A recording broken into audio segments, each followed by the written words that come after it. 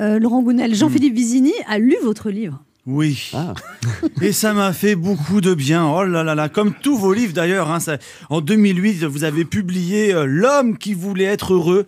Je l'ai lu quatre fois. Oui, parce qu'en 2008, c'est l'année où ma femme est tombée enceinte, l'année où notre enfant est né et l'année où notre vie de couple est morte.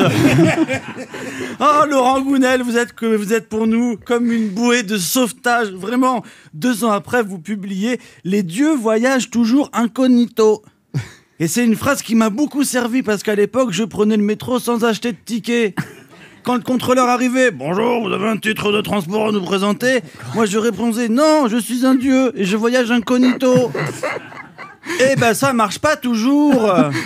Ben, ça marche pas du tout, même, en fait. Putain, je me suis pris des prunes à cause de vous, là.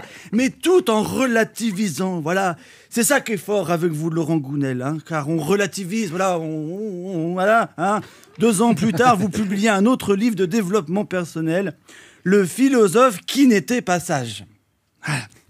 C'est l'histoire de Sandro qui décide d'aller pourrir la vie des gens qui vivent très heureux dans un village au fin fond de l'Amazonie. J'ai bien résumé C'est à peu près ça, hein, c'est ça. hein Alors, c'est pas le message, mais non, mais c'est à peu près, c'est- c'est à peu près ça.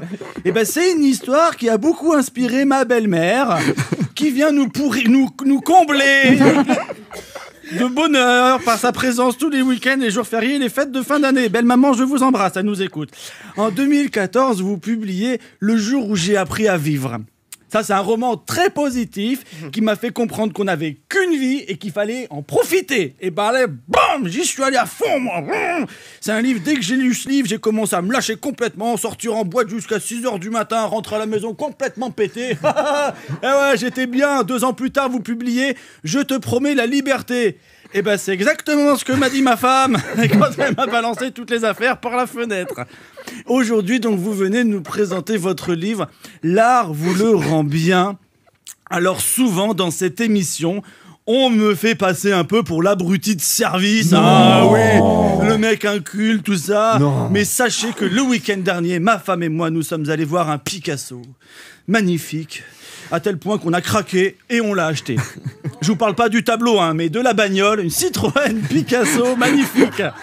Eh ben, on en est très content, comme quoi vous avez raison de dire que l'art vous le rend bien. Merci Laurent Gounel d'être passé nous voir. On Merci, rappelle Laurent. votre livre L'art vous le rend bien aux éditions Calman Lévy et Réunion des musées nationaux. Ouais, j'ai réussi à le dire.